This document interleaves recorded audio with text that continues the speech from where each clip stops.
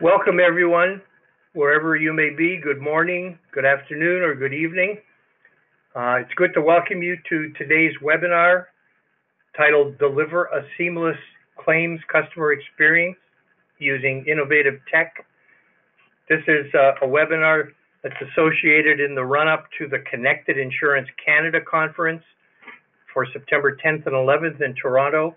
The subject matter is relevant, um, however, to um, all of our North American and European insurance colleagues, and I will give you more information uh, during the webinar about that conference. But for today, as you can see, we have two terrific, uh, very experienced experts uh, in both enterprise data architecture and in advanced analytics from the insurance industry. And I will shortly introduce uh, in greater length both uh, Craig Milroy from Sun Life Financial and Kusha Golmahamadi from Manulife. But let me start off, if I may, by just setting the stage for today's conversation and discussion and for the conference itself.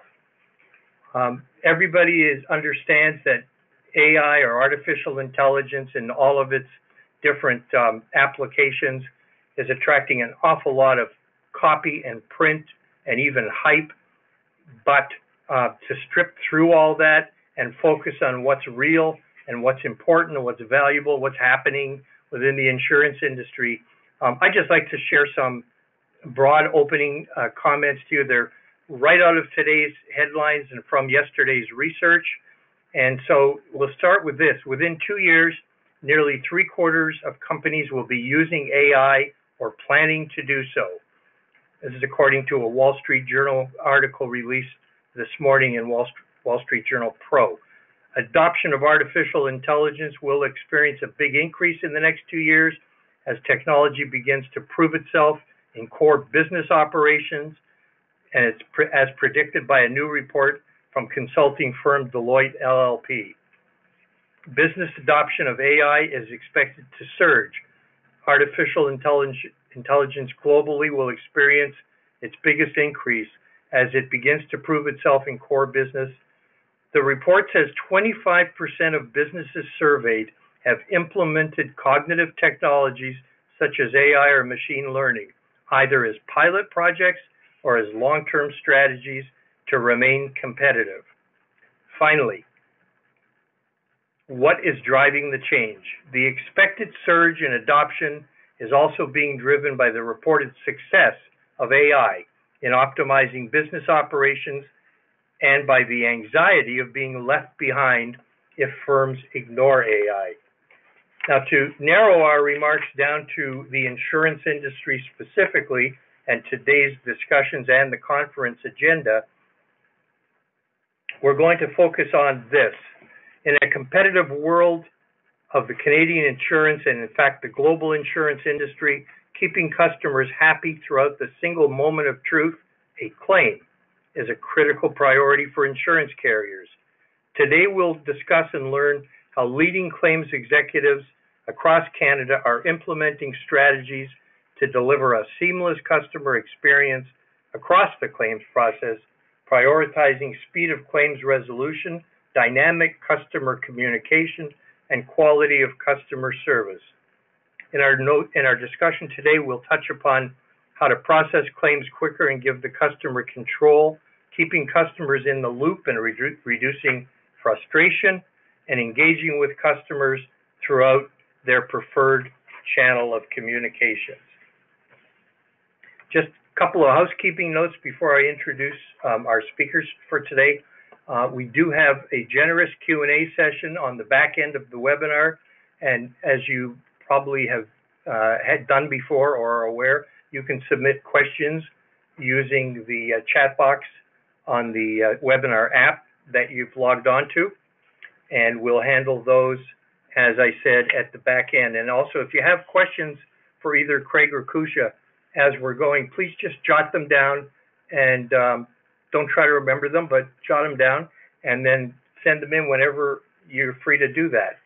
Um, I'm going to start by introducing our first speaker today, Craig Milroy. As you can see on your screen, Craig is Director of Enterprise Data Architecture with Sun Life Financial. I'd like to share some background on Craig to put his comments in better context here.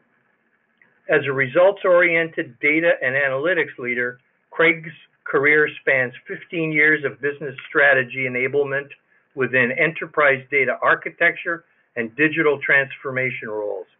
He has led many data central, sorry, data-centric digital transformation initiatives to enable strategic business growth through the deployment of industry-leading data and analytics capabilities.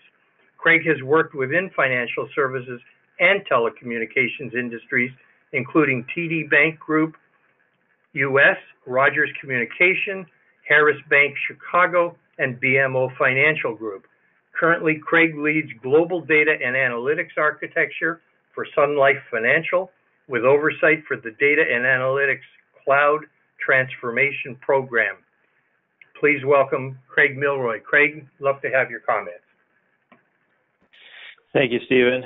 Uh, yeah, I'll, I'm going to walk you through a, a few conversations uh, around the transformational effect of uh, customer experience and claims. And what we need to do and what we need to consider is how do we, you know, automate and improve processes to drive faster uh, throughput, you know, get to real time, uh, and enable a superior customer experience.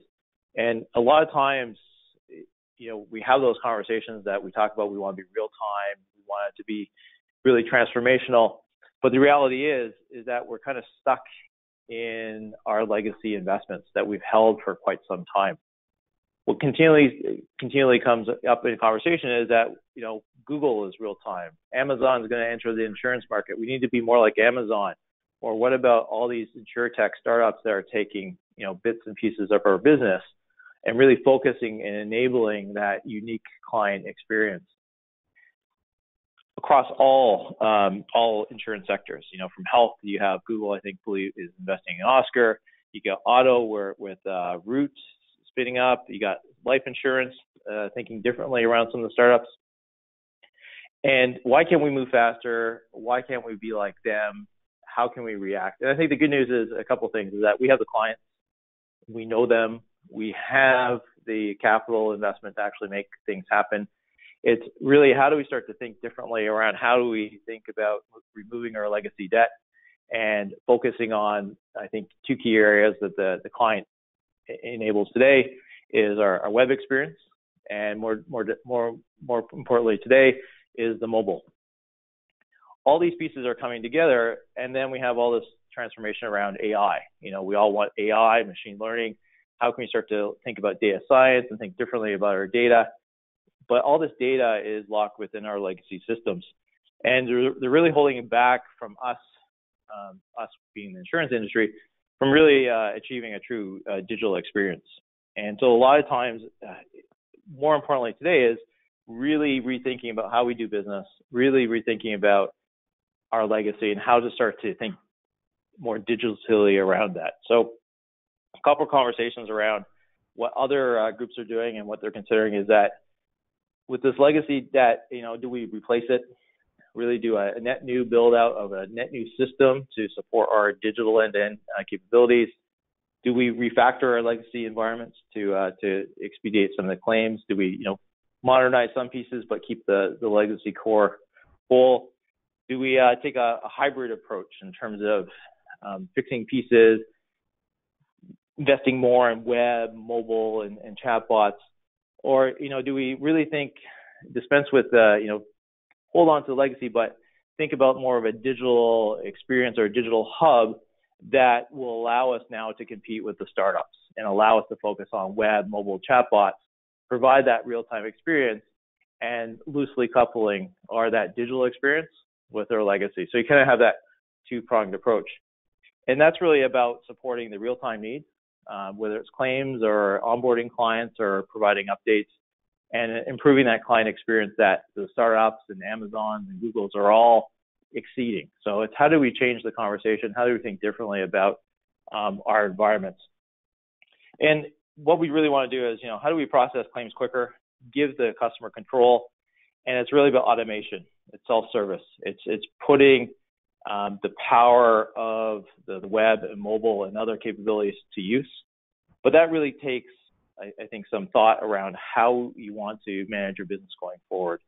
And a lot of times, it's uh, in a lot of you know insurance organizations, lines of business are actually product groups where they're individually siloed and they own clients, and you can never have that, never attain that kind of one insurance company uh, experience in terms of branding. So you go, you deal with a group, you deal with uh, your retirement services, you deal with wealth, you do deal with uh, you know life insurance.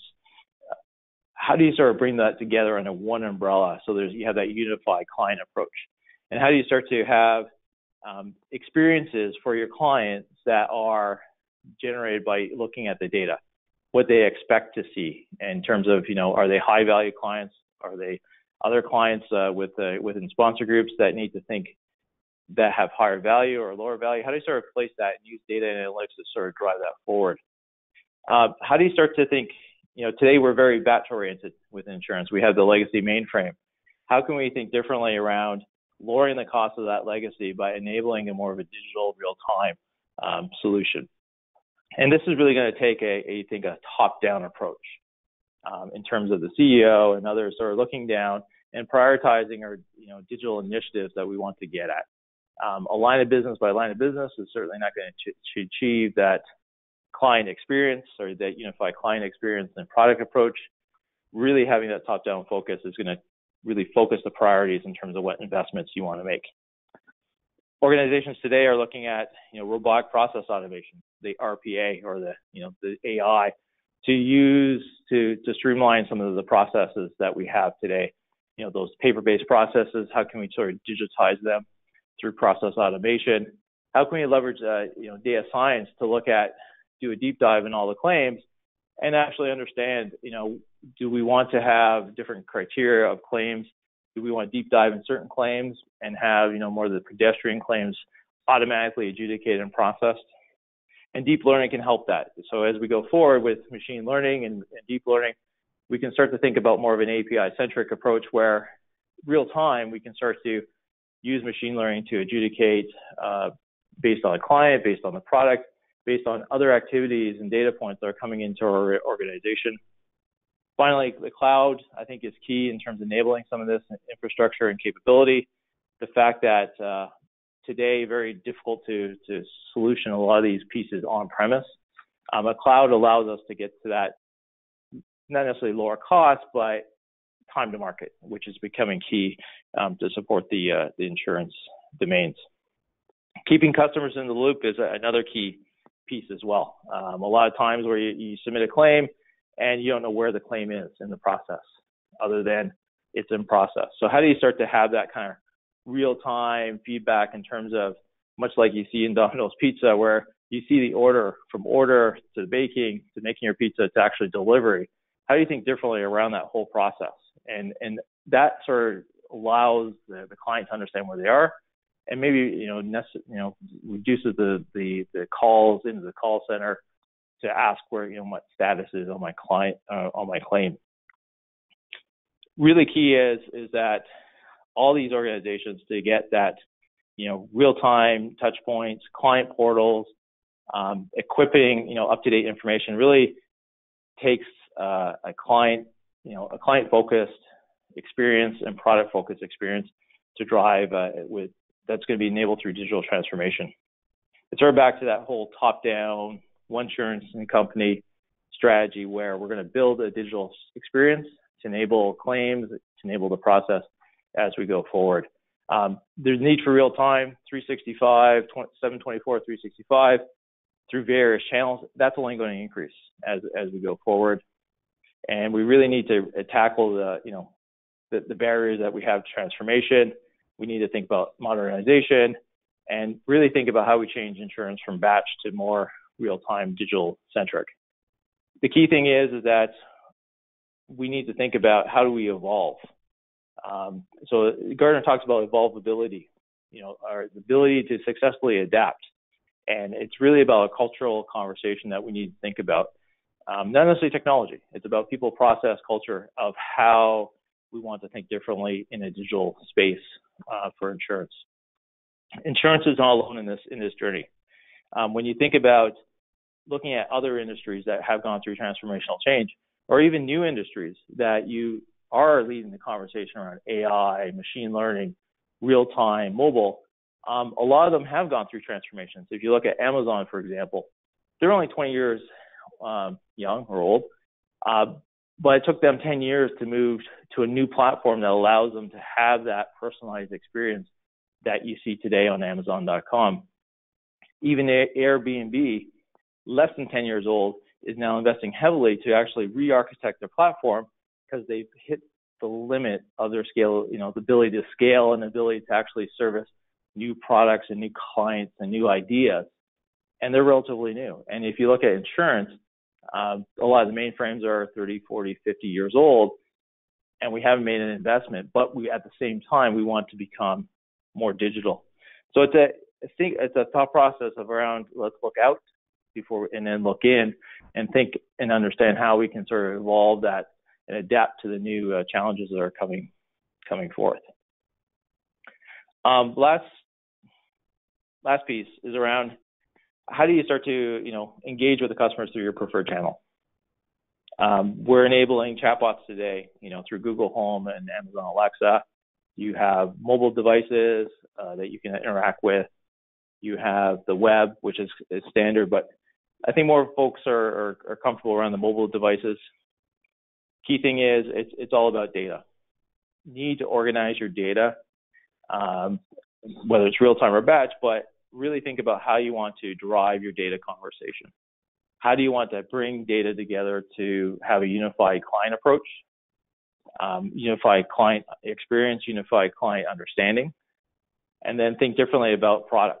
Um, they're not necessarily siloed. You know, how do you start to bring products together as a as an offering? So you're kind of looking at it from a, a different industry where you kind of have, you know, for, from telecom they have order management systems where you have groups of products and offers coming together to service your client.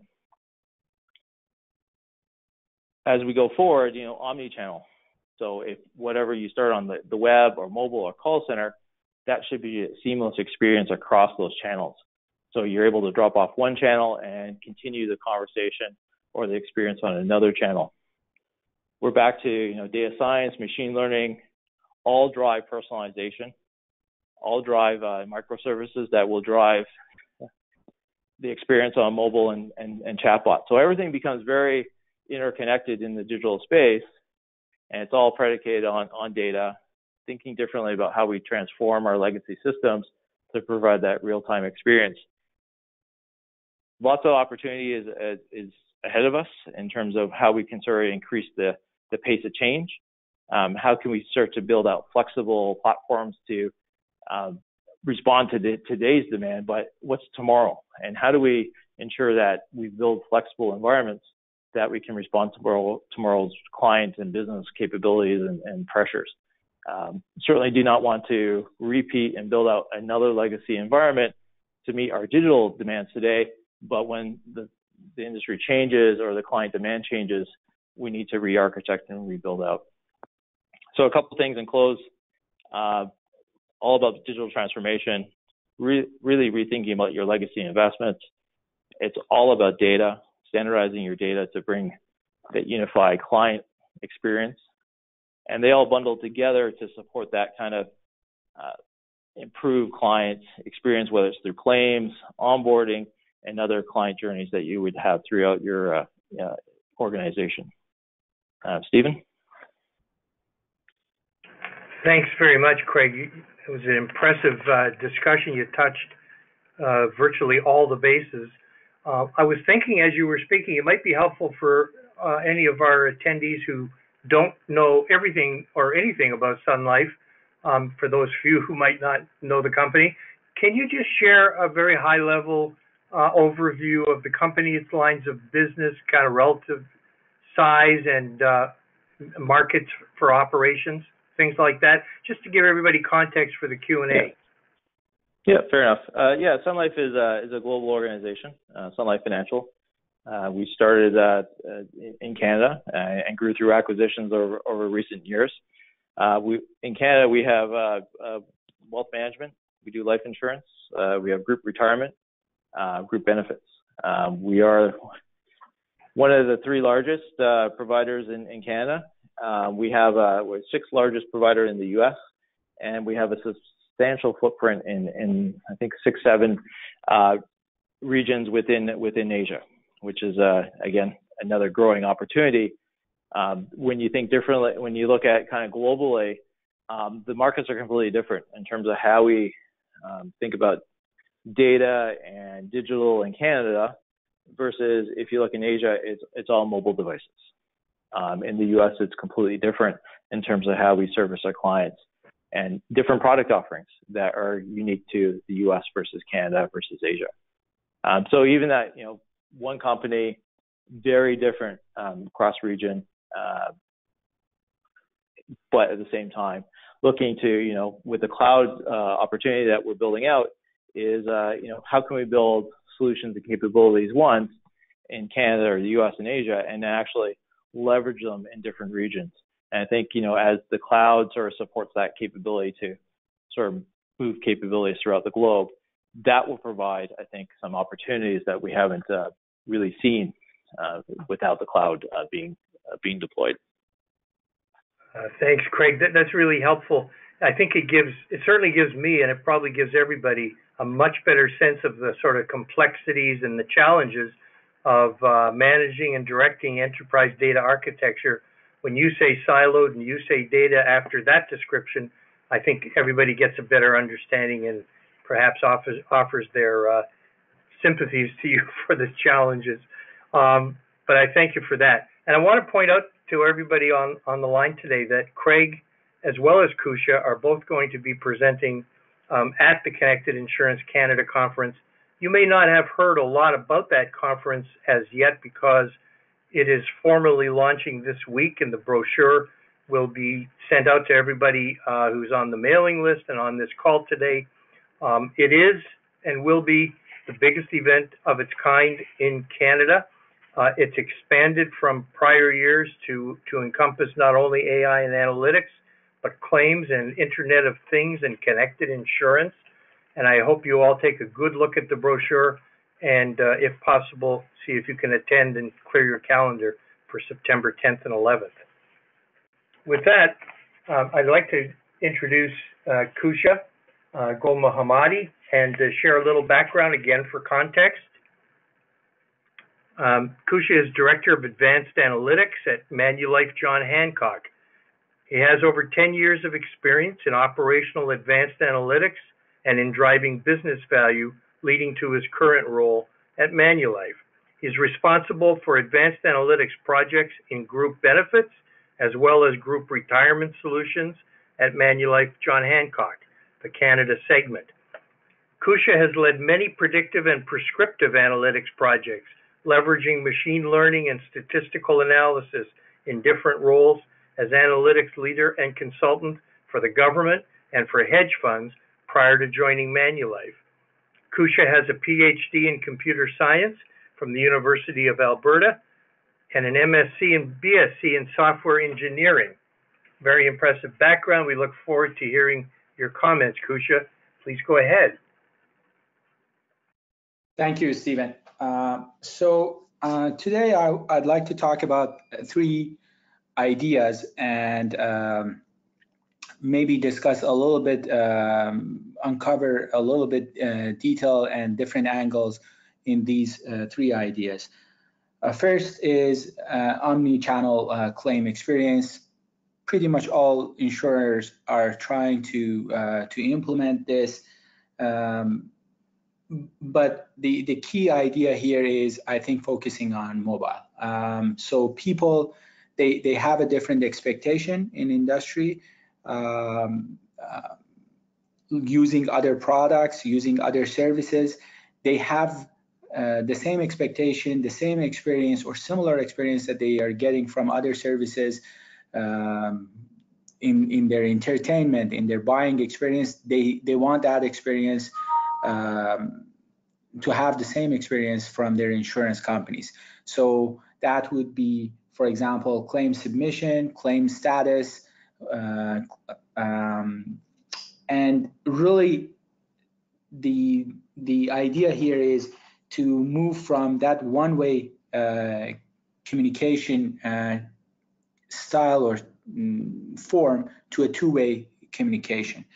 Um, so some of the leading uh, teams in insurance companies in North America, they've already implemented mobile apps with different levels of success. Uh, but majority of them, if not all, are one-way communication. They uh, send a notification to the user if they have the mobile application installed that your claim is uh, processed. It is less of a two-way communication. Secondly, uh, the data is not being captured and fed back to different uh, business units. So it seems that the efforts that are happening in omni-channel claim experience is centered and is focused within marketing groups in insurance companies.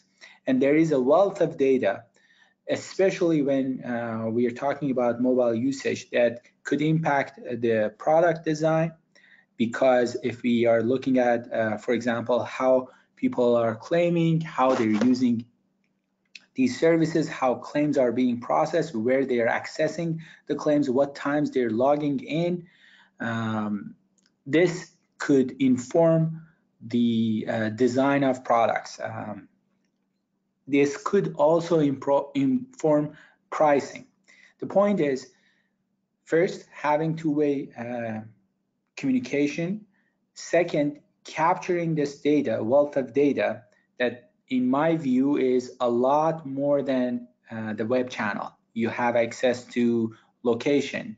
You also have a higher rate of um, uh, acceptance. When you send a notification through uh, the mobile application, there is a good chance that they look at that offer. The customer looks at that offer, they open that um, versus having this message in their um, in their account and uh, looking at it after they log into their account or sending an email to them. The the rate is under 20% when we engage with a customer um, through email. This is a lot higher when we engage with a customer through mobile application and the wealth of data is is a lot higher we capture a lot more it is also more secure when uh, we we address a lot of issues uh, that might be related to account takeover risks uh, and so forth. So the key idea is two-way communication and uh, capturing data that goes beyond transactions beyond looking at um, um, claim status. And for every one of these topics uh, that, that I'm discussing, I, I will end with um, uh, one recommendation. And in this case, in the case of omni-channel claims experience, I think the recommendation is learning from the banks. Uh, the banks entered this uh, area a few years ahead of insurance companies. They have tried many different things it is getting close to maturity in this uh, in in this uh, um, space. There are leading banks that have uh, figured out the best way to communicate, have figured out tools to uh, have um, communication over mobile and through other channels. But my focus is uh, is mobile, um, and I think there is a lot to learn from the banks. The second idea is investing in uh, claim processing modernization. Again, this is not new. Pretty much all insurance companies, they want to modernize their claim uh, mm, systems. Um, a lot of these systems are legacy systems from 30, 40, 50 years ago. They're very good for um, processing transactions. You submit a claim, uh, $50, $60 for massage, uh, that system processes that, but they are they were designed for operation, not beyond that. It is extremely difficult to get data out of these mainframes, uh, out of these systems. They are designed with a narrow focus of adjudicating that the claim that is being submitted, not with a broad focus of using this data for other purposes across the value chain. And um, I think the important thing here is uh, a cohesive strategy um, that is touching across the value chain. Um, and it is focused on customer. So insurance companies, they are already modernizing their claim systems. It, this modernization process um, has to be aligned and very well aligned with the broad global or enterprise level uh, data strategy being data lake being using cloud being um, mashing up data whatever that data strategy is this modernization of claim has to be aligned with that because it is more than processing claims it is more than adding kafka that uh, feeds data to your uh, Hadoop. Um, it, this, there, this is the core competitive advantage that insurance companies uh, have, especially large insurers, um, to improve their services, to create value uh, for the uh, customers. Because looking at historical data, they can improve their service. They can change uh, products. If many people are submitting uh, massage claims, not so much uh, maybe there there is an opportunity for adjusting uh, plan design for that particular sponsor or the uh, that particular segment of uh, customers. And the ending point for this item two is the focus has to be for for value creation uh, and value delivery for customers. So value creation is uh, is clear. Are we creating value? Are we creating uh, value something that the um, the customer wants? Value delivery is not really about delivering this uh, to the customer. Value delivery is they they accept it. They think that this solves a real problem for them and I think this will uh, this will enable to prioritize different things that are going on in in this space. Modernization um, of claims systems, legacy systems, are typically projects that go beyond one or two years. And when when you start the project in a large insurance company, the things that you want to do um, throughout uh, the timeline that you have the in in the project change, especially with fast pace of uh, technology, new vendors, new tools that are coming uh, into the market. The beaming light here, I think, is uh, value creation and value delivery for the customer. For each and every one of these items and deliverables, the question has to be, is this creating value for customers? And are we able to deliver this? Are, are, are they interested in this? The third idea is moving from responding to customers to uh, anticipating customer needs. So instead of always being in that cycle of, okay, my, my customers uh, need, prefer to log in on a mobile device, so I have to create a mobile application. My customers want to see the total claim amount, so I have to add this uh, as a feature to the software there is nothing wrong with that, uh, but um, it is important to get ahead of this cycle and get to anticipating uh, customer needs. This fuels um, ideas in upsell, cross-sell. If um, if you really be smart in this, I think it it can directly hit the books uh, um, in that insurance uh, company. And uh, the ending idea here, I think, is using advanced analytics for this. Advanced analytics has been proven time and again effective to improve services that we provide to customers, being the end users of uh, that product or clients uh, being the sponsors or companies that buy these services from insurance companies. And this could impact, again, different uh, business units across the value chain in the insurance company. It is not only about serving um, claim uh, result or status to the client, it, it is well beyond that. It can improve, for example, the, the pricing of products. If you can anticipate the uh, withdrawal rate for uh, a sponsor, if you can anticipate how much claims, uh, how much claim um, a member or a segment of population is going to have next year, that could inform and change uh, the services that uh, you provide. And yeah, uh, just just to uh, summarize, uh, for omni-channel experience, I think the key idea is learning from the banks. For investing in uh, claim processing and modernization, I think the key idea is focusing on value creation and value delivery for the customer and putting the customer at the center of all strategic and tactical uh, planning. And for moving from responding to customer needs to anticipating customer needs, I think the key idea is uh, using advanced analytics at the center of that.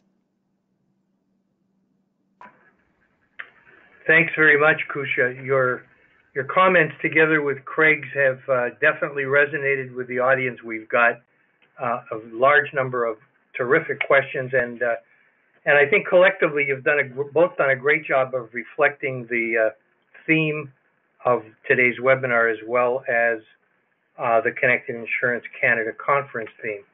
Um, before I move on to Q and A, um, Kusha, please, I should should have done this at the front end uh, when I introduced you but can you do the same for us that Craig did and just give us a sense of Manulife's uh, operations, lines of business, areas of oper- of market operation, etc. Just a high level overview. Sure. Uh, Manulife is the largest insurance company in Canada. It started in Canada over 100 years ago. Uh, operates in Canada, United States, and Asia, primarily in uh, China um, and um, market cap of um, Manulife about I think today is about uh, 53 billion revenue, uh, 50 billion uh, a year, 35,000 employees in Canada. We have about 7,000 employees. The lines of businesses in Canada, in uh, Manulife, we have uh, health insurance, we have group retirement uh, solution, and we have our wealth asset management uh, that has about a trillion dollars, uh, a little shy of a uh, trillion dollars uh, assets under management. Um, there are other services um, at Manulife, um, smaller business of uh, the bank, and um, also retail um, insurance through travel insurance, affinity, and that sort of thing. Thanks very much that translates to an awful lot of data and a large, a very large number of customers to serve. So I think that really puts it, everything in context. Um, I'm going to get right into the Q and A. I'm sure we're going to uh, have a, lot, a lot of uh, back and forth on this. So our first question. Oh, by the way, uh, somebody did ask. A few people asked about the welcome screen. Were there any slides for today's presentation?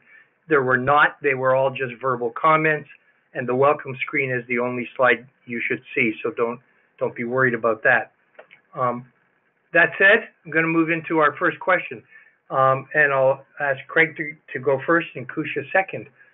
Any suggestions on how to approach resistance from claims teams who have been, quote, doing it this way for years and it works, so why fix something that ain't broke?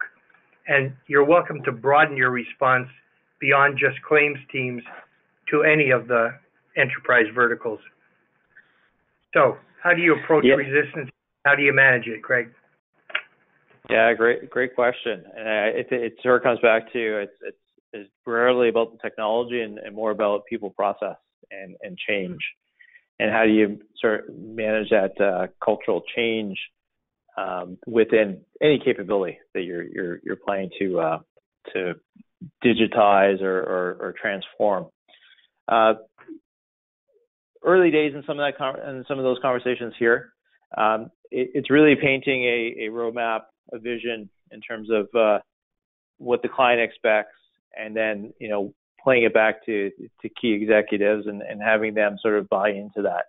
And, and that sort of comes down to the top-down approach of where here here's the here's here's the approach, here's where we're going, and here's the benefit. In a lot in a lot of cases, you know, the use of AI and others, a lot of fear of you know job loss or you know jobs will change. Um, but it, it really comes down to you know how do we manage that change? How do we manage uh, you know provide that sort of future roadmap, and and provide comfort that employment's still going to be there, but your job or you know job is going to change.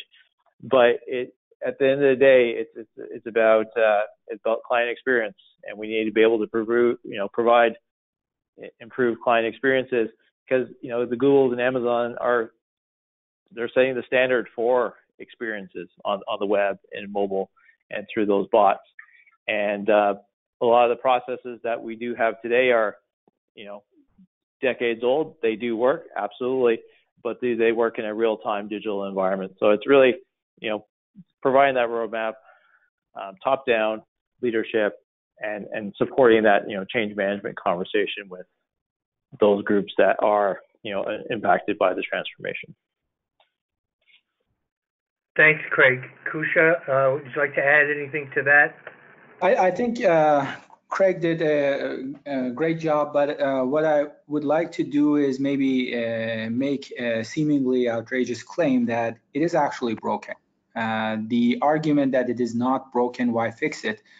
I'd like to argue that it is broken, and the market tells you it is broken, because when uh, you, uh, your insurance company, when we, we think about claim adjudication, um, there are different levels um, in insurance companies, but about um, 70 to 80 percent around that are adjudicated automatically a large portion of that 20 30% is adjudicated manually.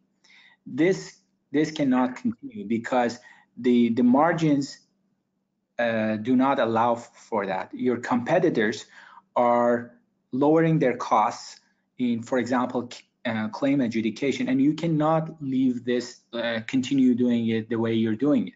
Like uh, the the cost of uh, processing this manually is too high. Now you can take the same analogy and extend it to other areas, other business units that are associated with uh, claims. Think about uh, your your marketing. If you're not able to create value out of claims data, you are limited, and you, that limits your your uh, competitive advantage. You will lose that competitive advantage because your competitors are creating value through that. They're using that data to optimize their services. They're using that data to upsell, to cross-sell to their members. So the market tells you, I think, uh, that uh, that uh, it's broken actually. Thanks very much. And for what it's worth, I totally agree with you. And, and I think a large number of our colleagues on the call do too. Um, next question. Can Craig speak of successes or challenges implementing RPA at Sun Life? And of course, Kusha, I'll ask you to do the same after Craig. Yeah, our RPA is uh, it's, it's, it's quite an interesting journey. Uh, very much more of a end user computing uh, paradigm that uh, we we took upon uh, here at uh, within Sun Life. still working through um, a lot of the, the challenges uh, of RPA. But the uh, you know some of the initial pilots uh, that the business has run has have proved you know successful in, in terms of just moving that forward. Uh, much more work to be done. Um, I think you know if we look back, you know, look forward 12 months, I think we'll be certainly in a different position. But uh, you know, it's kind of looking at RPA, how you sort of tie that together with you know your AI journey, how do you tie that into you know your chatbots, and and how do you look at, you know, when you're selecting opportunities for RPA, you know, what are the the real manual tasks that uh, you, you know business users are completing, say in the call center? Um, you know, are they flipping screens? Are they having to rekey in, in data into different systems? Um, those are some of the opportunities you may want to look at in, in terms of you know create, using RPA to create those efficiencies. Um, but it, it at the you know it's really a end user computing kind of mindset because they they know the business, they understand the process flows, they're able to um, you know quickly um, you know agile um, shift shift gears in terms of what's priority and what's not um, in that uh, enablement. So 12 months from now, I think we'll have a, I'll have a better picture for you, but uh, right now that's kind of the, the high level state of, of where we're at. Thanks, Craig. If I may, I don't know if you can answer the question, but as a follow up before Kusha responds, um, when somebody says RPA to you, um, what comes to your mind within your organization as sort of the lowest hanging fruit, if I can use that expression, or the best use case where you've pursued or are pursuing RPA, if you can share that?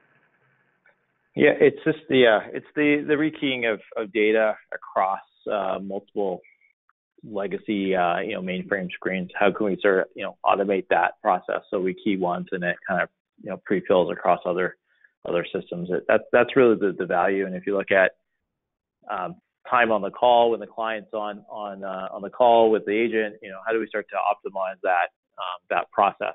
And uh, you know, RPA, although it doesn't you know provide that uh, you know legacy transformation, um, it does you know create efficiencies to to handle that call.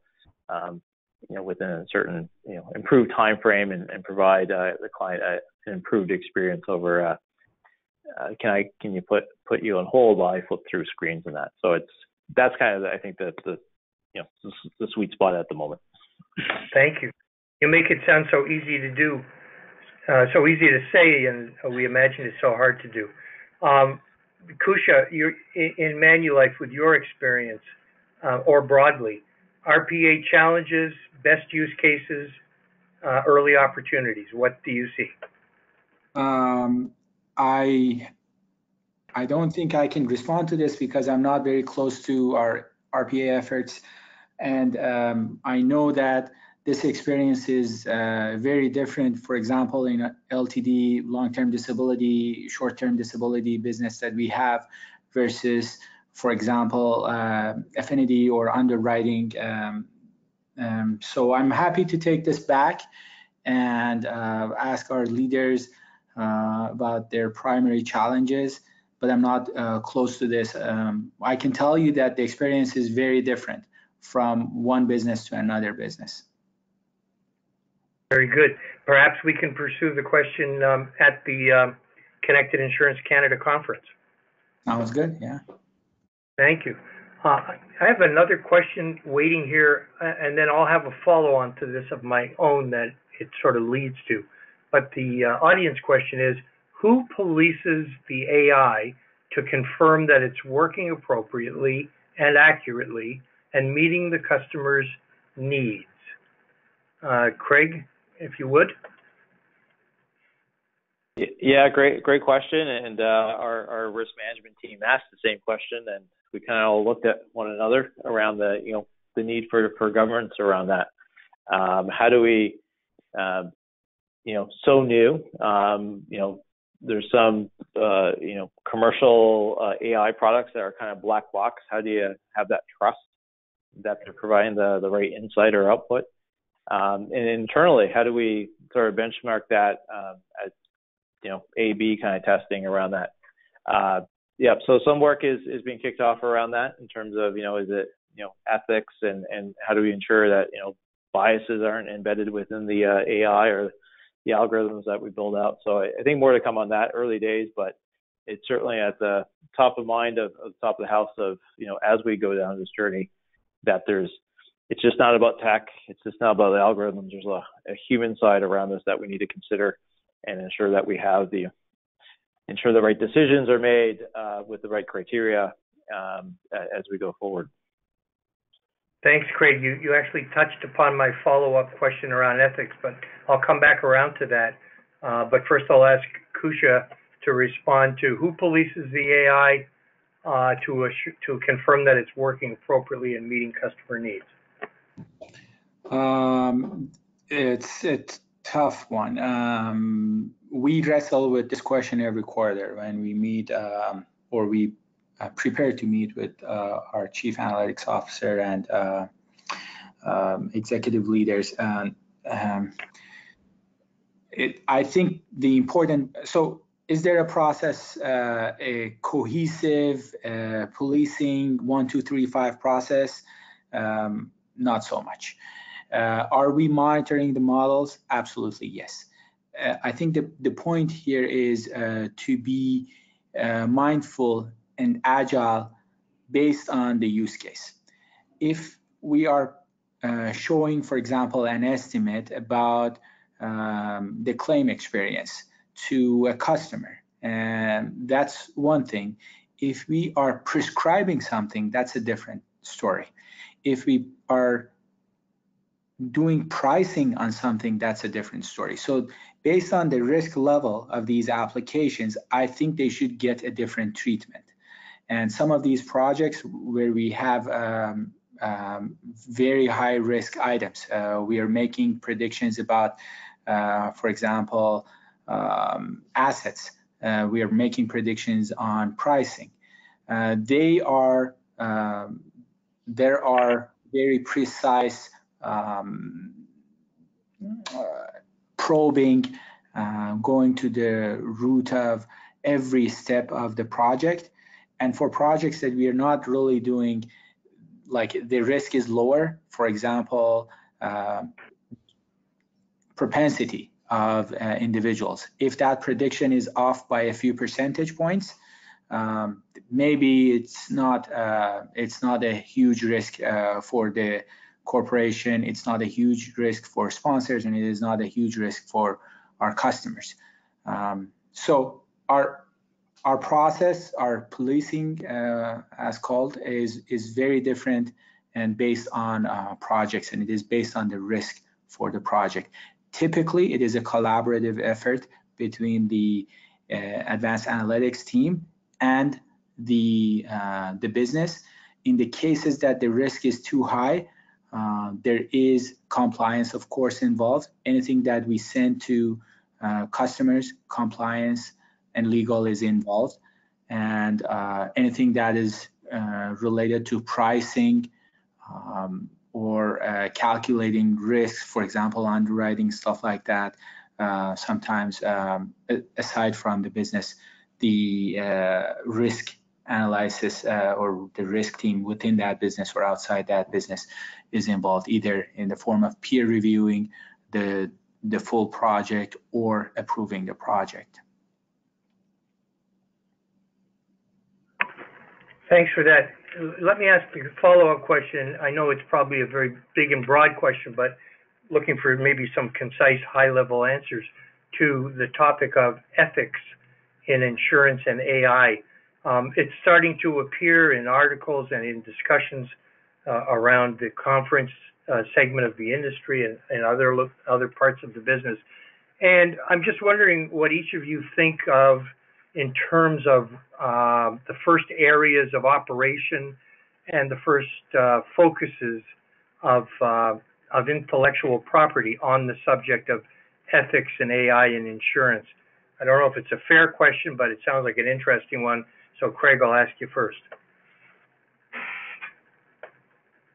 Yeah, uh, great, great question. Uh, haven't really uh, it's it's on the on the list to it's on the to do list perhaps. Uh, the more of a business conversation than an architectural one. So I I'll have to defer defer uh, any any commentary. That's a fair comment. It actually is a telling comment. Thank you. Well, what about you, Kusha? Do you have anything to offer there yet? Yeah, so we have uh, some uh, broad uh, guidelines. There are fields that uh, we cannot use. Uh, for example, the ethnicity and uh, some um, some of the fields. Um, we have this data, but the compliance and the guideline that we have does not allow using this data. There is additional um, um compliance that is involved uh, which is imposed by the sponsor uh, and the contractual agreement. So some sponsors would not agree, for example, uh, using some information or contacting their members for uh, some projects. Some sponsors will not allow, and this is actually a typical uh, one, um, having a distinction between our group benefit uh, products and group retirement solutions, especially when there is marketing involved, um, uh, looking at um, the broader guidelines that we have and also contractual agreements uh, that we have. We, we do that actually across our projects. There is a team that uh, checks for these things. Thank you very much. Um, I'm, I'm, mindful of the time. I've got my eye on the clock. Um, it's amazing how quickly the session always goes with all the questions, and we have a lot more. So just before I ask the final question, I think we can fit it in. Just a reminder to everybody to look for the announcement and the brochure for Connected Insurance Canada, September 10th and 11th in Toronto. Uh, we're expecting over 350 senior level and executive level attendees. We will have over 60 speakers. There are actually three events being folded into one on AI, on claims, and IoT, and 20 practical case studies. So uh, that's some explanation of why we say it's the biggest conference to ever be held on this topic in Canada. Uh, and with that, our last question I think we have time for is where do you see NLP, which is natural language processing, where do you see NLP going to transform all the manual process currently employed? That is high volume, low value tasks. Just want to find the end of the question here. That currently require thousands of annual work hours. Uh, any any response on where how NLP will affect that part of the business or any other? Craig. Yeah, I think there's a couple pieces. Is that uh, you know when it comes down to chatbots, that you know natural language processing uh, plays key within that. Um, or when you know you're calling through the uh, you know the call center IVR, um, large opportunity in that space. Um, what we're also looking at is you know the whole all the all the paper-based uh, documentation that's being digitized. You know how to how to start to pick off those uh, you know handwriting and uh, freeform text and how to you know gain insights out of that um, that just not possible um, previously. Um, so looking at some opportunities, uh, you know, with our cloud partners and, and other partners around that to help uh, to enable that. So it's it's it's uh, I think early early days, but uh, a great opportunity um, just to change uh, just with the volume of, of data that's out there, unstructured, and, and how to put structure around um, leveraging uh, NLP to help support that. Thanks, Craig. Kusha, NLP in Manulife? Uh, this is a good one. Uh, we have had uh, projects on this, uh, I think, since 2017. Um, and uh, the projects uh, span have a very large span. the approach is very similar, um, but the projects are uh, the business units that uh, we target are uh, very different uh, from call center that uh, Craig mentioned to optimize call center to identify why people are calling, what are the topic, like doing topic modeling, what are the topics that are getting a lot of calls, um, identifying calls that are taking too long, all the way to textual data in claims that they submit, how we can uh, capture that and uh, process that at large scale. Like we receive millions of claims uh, monthly, how we can extract some information and create value for our customers. Um, it is also dependent to our infrastructure and cloud uh, and capabilities that we have. Um, I think we we have made uh, good progress um, at Manulife uh, in this area and the I'm, I'm hoping that um, more value is generated from this. This is a very exciting area for us. Thanks, Kusha. Um, time is almost up, so I need to thank very much Craig Milroy and Kusha Golmohammadi for their insight today and their comments. Uh, again, you'll get a chance to hear them uh, speak on these topics at Connected Insurance Canada in Toronto on September 10th and 11th and we look forward to seeing all of you and those of you who are attending next week, the AI and Analytics Conference here in Chicago on Thursday and Friday. We look forward to seeing you there.